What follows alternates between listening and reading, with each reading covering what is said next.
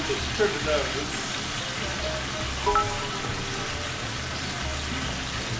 right, I think we're good here. Let's go ahead and transfer this to the uh, baking sheet here. Oh, shit. Ow.